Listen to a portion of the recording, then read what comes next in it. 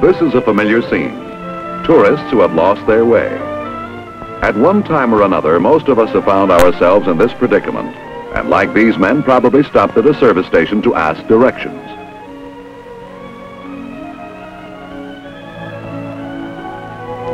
Generally, such directions are given by reference to a road map.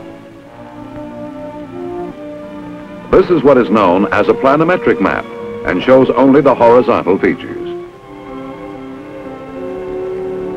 Like all other maps, this is a drawing to scale of a portion of the Earth's surface on which natural and man-made features are depicted by symbols, lines, and colors. If you select a map which covers the area of your travels and know how to interpret the information it contains, the planimetric map will guide you to your destination. This is the purpose of any map.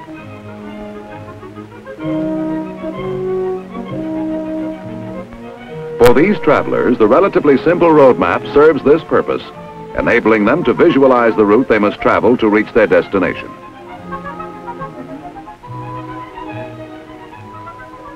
In other situations, this type of map would be of no value at all. Here, a soldier's mission takes him miles from the nearest improved road to make his way across country by referring to natural signposts such as hills, mountains, or streams or man-made features like houses, schools, or water towers. There are no road signs here, and to plan and complete a trip or patrol requires much more information than would be found on a simple road map. So the soldier is issued a topographic map, which shows both relief and horizontal position of features, natural and man-made, in measurable form. However, no map is of value unless it is properly understood and used. At first glance, it may appear confusing, with all sorts of lines and symbols you have never before encountered. All have a purpose, and it becomes obvious that the first step in learning to read a map lies in discovering what these various symbols, lines, and colors represent.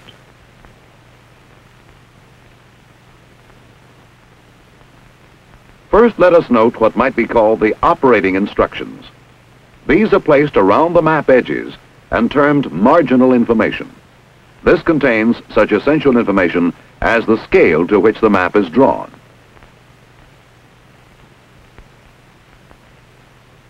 Graphic or bar scales to be used in translating map distances into actual ground distances and the contour interval or vertical distance represented by contour lines on the map. The lower left-hand corner contains the legend, which illustrates and identifies the symbols used on the map. It might be possible to interpret the information found on a military map by continually referring to the legend for the meaning of the map's symbols. But this is awkward, so for speed and efficiency in map reading, the first requirement is to learn and memorize the more common symbols.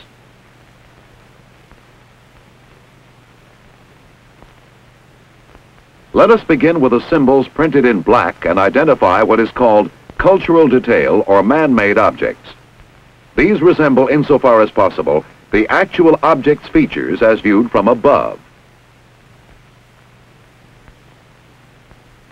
In almost any area, the most conspicuous man-made objects are highways. They come in various widths.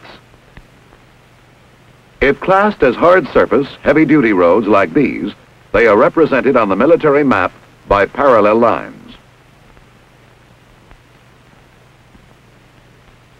This is the basic symbol for a road, two parallel lines. A hard surface heavy-duty road is indicated by coloring the space between the lines solid red. If the road is more than two lanes wide, its width is printed on the map above it. Where the road changes in width, a tick mark is placed at the point of change and the variation is noted.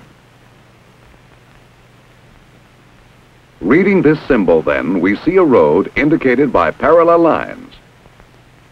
We also note that it is classed as hard surface, heavy duty, by the red marking. Here it is four lanes, but at this point it widens to six Other types of roads are shown by varying this basic symbol. For example, this is a hard surface medium duty road, as is this and this. These roads, like the ones we saw before, may vary in width, but their map symbol is the same, parallel lines.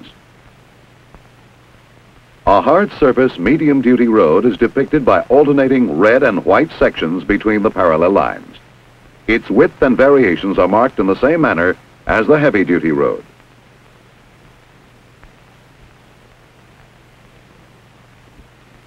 Military maps also include streets like this one, as well as improved light-duty roads.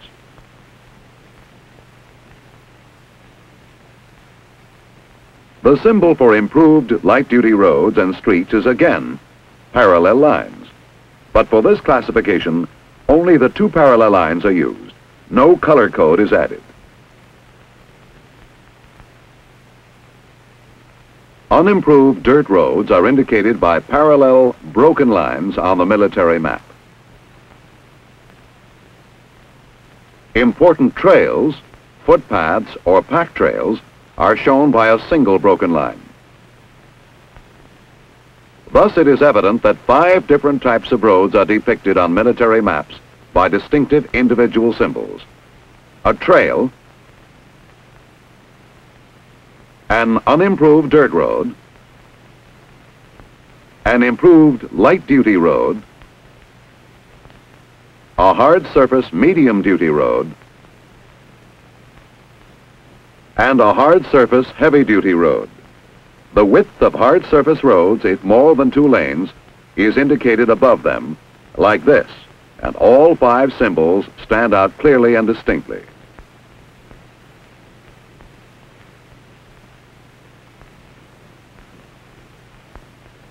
Another feature commonly seen is the overpass or bridge. This symbol is used with the symbols for railroads, highways, and streams.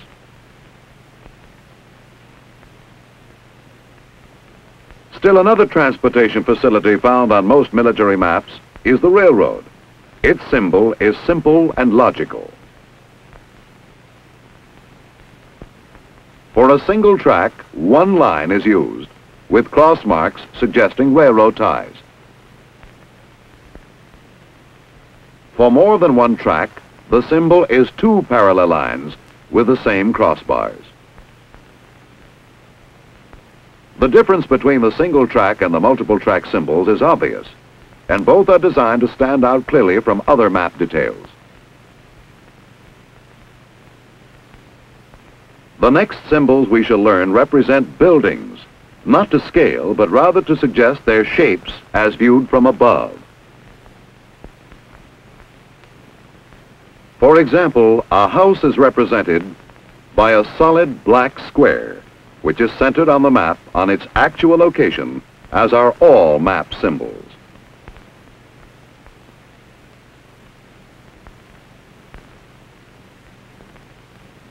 A barn or similar outbuilding is depicted by an open square. The symbol for a school derives from the flag, which is flown on school property. So a school is represented by a black square with a flag on top.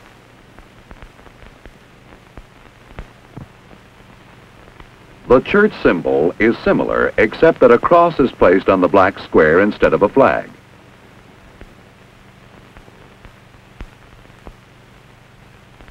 Larger buildings are usually depicted on maps by symbols which suggest their actual shape from above. They are placed on the map in proper relationship to their surroundings. A storage tank is frequently marked on military maps. The symbol representing it is a solid black circle.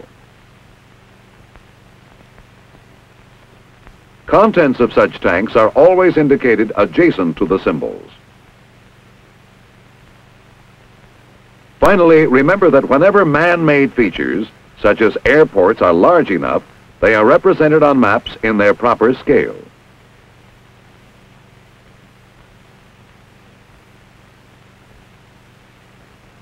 The symbols we have seen thus far represent man-made features which physically occupy space within a mapped area.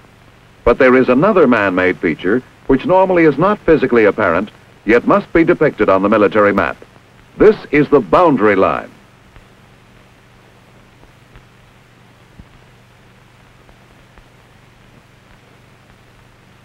The symbols representing boundary lines are varied to distinguish the areas which they enclose. A national boundary is depicted in this way. This is a state border, and this a county line. Military reservations are outlined by this symbol, and other reservations like this. You will notice that the national and state boundaries are at first glance confusingly similar. Thus, to distinguish it, the national boundary is edged with red dots along its entire length. The same possibility of confusion exists between military and other reservation borders. So the boundary symbol for the military reservation is also edged with small red dots and a printed identification is included on the reservation side of the line. These then are representative samples of the symbols used to identify cultural or man-made features on the military map. Let us now consider how natural features are depicted. The color blue on a map indicates water. Thus, large bodies of water, such as rivers and bays, are drawn on the map to scale and colored blue. Their shorelines, whether rocky, smooth, sandy, swampy, or overgrown with vegetation, are always indicated by a blue line.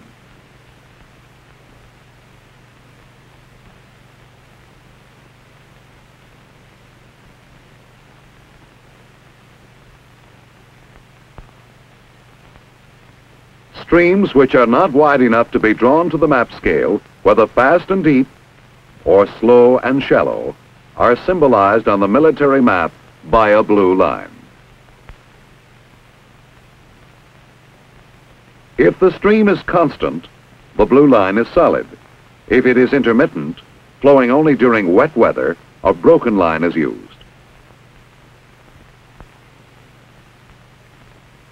Swamps or marshes, no matter where located within the mapped area, are indicated by blue symbols resembling vegetation growing in water, while lakes or ponds are drawn on the map in blue to reproduce their aerial outline insofar as possible.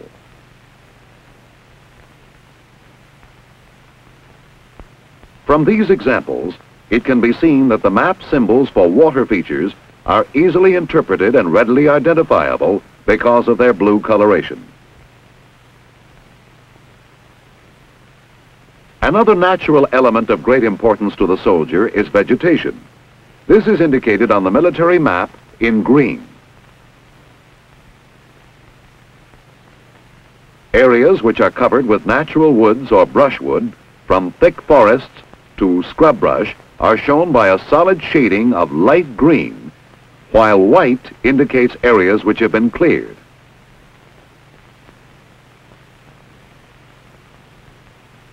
Orchards are symbolized on military maps by a green pattern like this, suggesting rows of trees with their normal coloration. This, then, is the meaning of green on your map, vegetation. As we noted earlier, a topographic map contains information about the relief features of the area it depicts. This is expressed in brown contour lines, which represent the relative height of the terrain over which they pass, and spot elevations, which give the elevations at the point where they are found. Note that they are used here to indicate a depression as a closed loop, with tick marks always on the downhill side. Contour lines will also depict a cut through hills or ridges dug to accommodate man-made features like roads or railroads. Note the straight and parallel contour lines adjacent to this road and passing through the hill. This symbolizes a cut. When an area has been filled, to allow a man-made feature to pass over small streams, gullies, or depressions, the fill is indicated by straight and parallel contour lines adjacent to the road or railroad and running over the features filled in. When tick marks are used to indicate the downside of the fill, they always point away from the road or railroad. The interpretation of contour lines will be explained more fully in another film.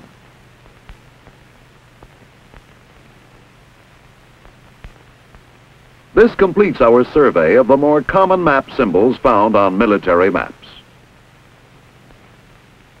The complete map will have names of features such as towns, highways, and railroads printed on it to further aid in identifying the symbols it contains.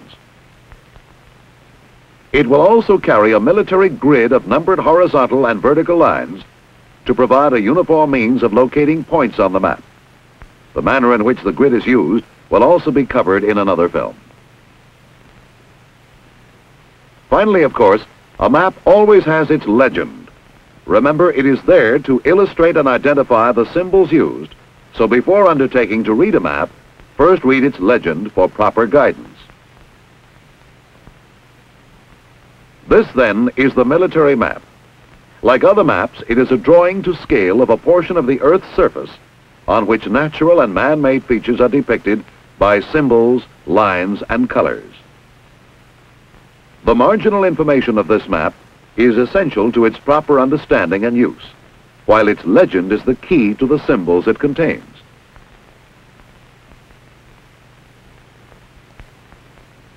Of these symbols, those printed in black denote what is called cultural detail or man-made objects, such as roads of various types and classifications. Railroads, buildings, including schools and churches, storage tanks, and other man-made features large enough to be represented on the map in their proper scale. Boundaries are also printed in black with those representing national borders or the limits of military reservations being edged with small red dots.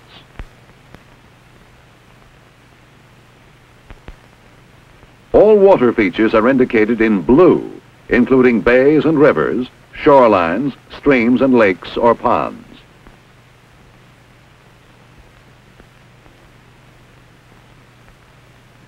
Vegetation is depicted by the color green. White shows areas which have been cleared. Finally, facts pertaining to relief features of the area are expressed on the map by brown contour lines and spot elevations. The military map contains a wealth of vital information for the soldier to use. Its value will depend on you and your knowledge of its elements. With a little effort and practice, you can master its symbols and usage. And once mastered, you can count on the military map to guide you on your missions in training or in combat, surely, swiftly, and safely.